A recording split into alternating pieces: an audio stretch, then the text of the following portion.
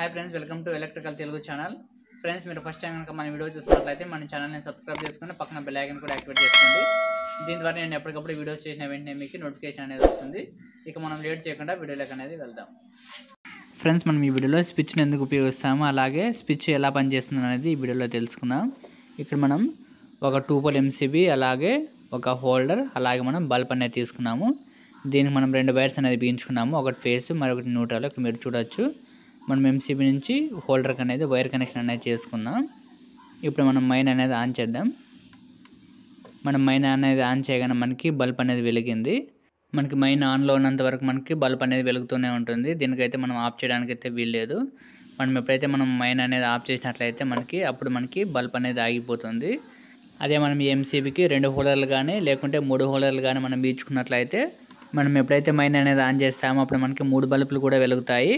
ఒక బల్బును ఆన్ చేసుకొని మిగిలిన రెండు బల్బులు ఆఫ్ చేసుకోవాలంటే అప్పుడు వీలు ఉండదన్నమాట. అలాంటి సమయంలో మనం స్విచ్ను అనేది ఉపయోగించాలి. మనం ఏ బల్బుకి అయితే మనం ఆఫ్ చేసుకోవాలనుకుంటున్నామో ఆ బల్బ్ అనేది మనం ఈ స్విచ్ను అనేది బిగించుకోవాలి.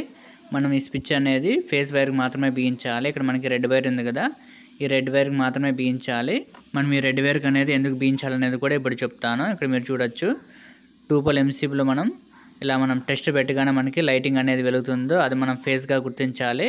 వెలుగున దాన్ని మనం న్యూట్రల్గా గుర్తించాలి. మనకి మనకి రెడ్ వైర్లో కరెంట్ అనేది చూపిస్తుంది కాబట్టి దీన్ని మనం కట్ చేసుకొని దీనికి స్విచ్ అనేది వేసుకోవాలి. ముందుగా మనం మైన్ అనేది ఆఫ్ చేసుకోవాలి. ఆఫ్ చేసుకున్నట్లయితే మనకి కరెంట్ అనేది బంద్ అవుతుంది అనమాట అప్పుడు మనం ఈ రెడ్ వైర్ని కట్ చేసుకొని మనం స్విచ్కి అనేది బీయించుకోవాలి చూడండి మనకి ఇక్కడ రెండు వైర్స్గా అనేది అయినాయి.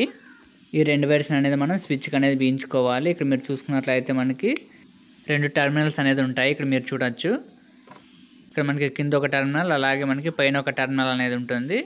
ఈ రెండు టెర్మినల్కి మనం వైర్ అనేది బీయించుకోవాలి ఇక్కడ మనకి రెండు వైర్స్ ఉన్నాయి కదా ఈ రెండు వైర్స్ మనం స్విచ్లో బీయించుకోవాలి మనం న్యూట్రల్ వైర్ మాత్రం స్విచ్కి అయితే అస్సలు బిగించకూడదు. ఇదైతే మీరు గుర్తుంచుకోవాలి. ఇక్కడ మీరు చూసినట్లయితే మనకి టూ పోల్ ఎంసీబీ నుంచి ఒక వైర్ అనేది వచ్చింది. ఈ వైర్ని మనం స్విచ్ కింద వైపు అనేది బీయించుకోవాలి మీకు ఒకవేళ ఇలా కటింగ్ బ్లేడ్తో స్లీవ్ అనేది తీయడానికి రాకున్నట్లయితే కటింగ్ బ్లేడ్తో వైర్ స్లీవ్ ఎలా తీయాలనేది ఒక వీడియో చేశాను. ఆ వీడియో లింక్ అనేది ఈ వీడియో చివరిలో ఇస్తాను. మీరు వీడియో చూసినట్లయితే వైర్ స్లీవ్ని ఎలా సులభంగా తీయాలో మీకు అయితే అర్థమవుతుంది.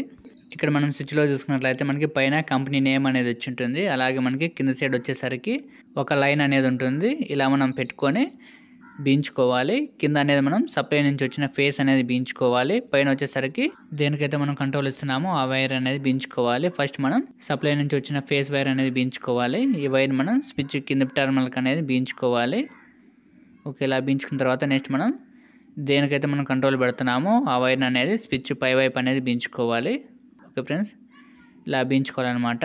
ఇక్కడ మీరు చూసుకున్నట్లయితే సప్లై నుంచి వచ్చిన ఫేస్ వైర్ అనేది కింద బీయించాము. స్విచ్ పై టర్మినల్ నుంచి బల్బ్ అనేది బిగించాము.